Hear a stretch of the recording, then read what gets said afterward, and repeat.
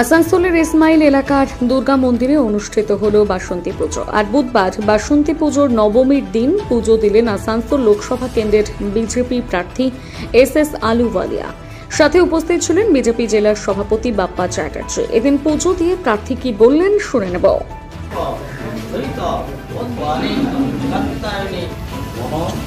আশা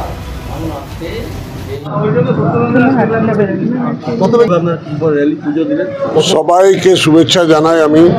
আজকে গত পাঁচশো বছরে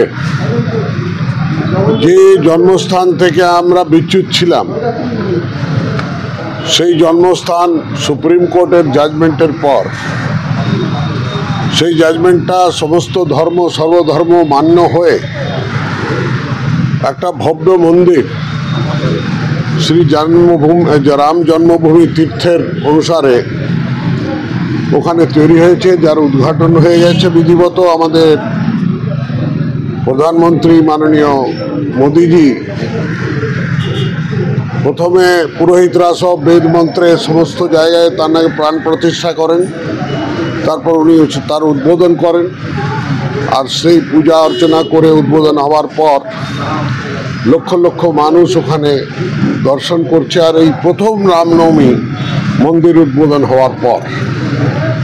এটা আছে সারা বিশ্বের লোক যারা মর্যাদা পুরুষোত্তম রামের বাণীটাকে মেনে চলে, তারা আজকে আনন্দে বিভোর হয়ে রামনবমী পর্বটাকে পালন করছে। আমি আমার তরফ থেকে সবাইকে রামনবমীর শুভেচ্ছা জানাই। মর্যাদা পুরুষোত্তম রাম ভগবানের যে মর্যাদাগুলো ছিল, সেইগুলো সর্বধর্ম সম্ভবের আমরা পালন করি, পালন করার জন্য আহ্বান করি।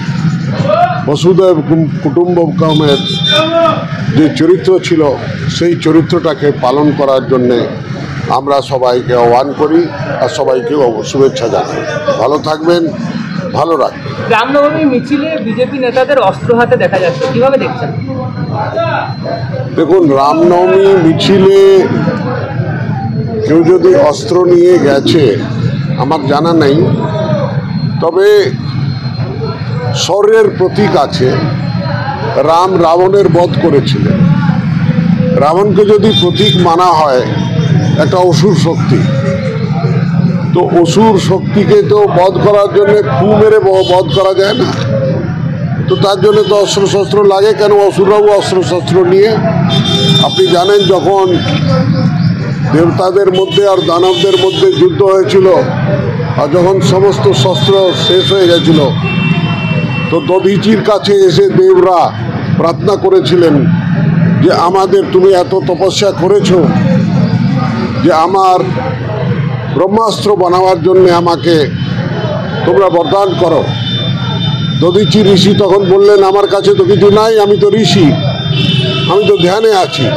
বলে, তুমি এত ধ্যান করেছ যে তোমার মেরুদণ্ড যেটা আছে, ওটা ব্রহ্মশাস্ত্র, ব্রহ্মাস্ত্র থেকেও শক্তিশালী। দেব দেবদেরকে, দানবদেরকে শেষ করার জন্যে জীবন্ত দধিচি ঋষি নিজের মেরুদণ্ড দান করে ব্রহ্মাস্ত্র বানিয়েছিলেন দানবের বধ করার জন্য। এখানে বর্তমানে কাকে বোঝাতে না না সমাজের যত অশুভ শক্তি আছে অসুর শক্তি তাকে বলা হয় যারা ব্যবিচারে দুরাচারে হ্যাঁ ধর্ষণে লুণ্ঠনে প্রাচারে ব্যস্ত আছে তেমন অশুভ শক্তিকেই কিন্তু রাবণ বলা হয়। বিভিন্ন ধন্যবাদ।